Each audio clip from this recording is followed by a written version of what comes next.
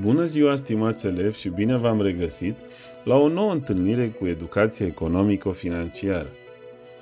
Vă propun să descoperim în ce constă un posibil plan de adolescent.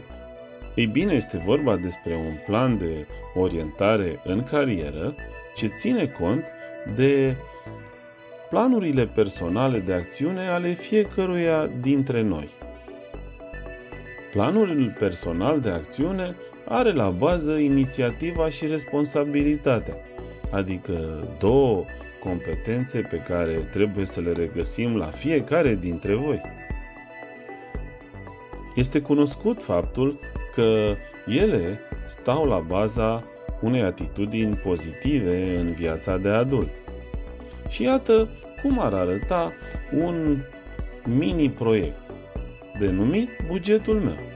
În primul rând, trebuie să stabiliți un scop personal, să spunem participarea la un festival de muzică pentru adolescenți, iar apoi să aveți câteva idei structurate. În principal sunt cele legate de veniturile pe care le puteți obține, ori din desfășurarea unor activități casnice, ori lucrând pentru un proiect la școală sau pentru obținerea unei burse. Nu scăpați de cheltuieli. Evident, cele mai cunoscute sunt cele cu transportul, cele cu achiziția biletelor, cu achiziția de suveniruri și, evident, cu cazarea și cu masă.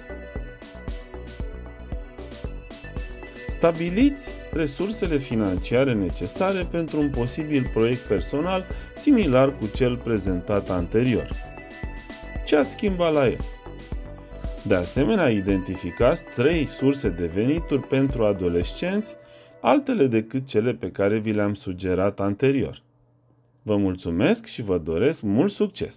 La revedere!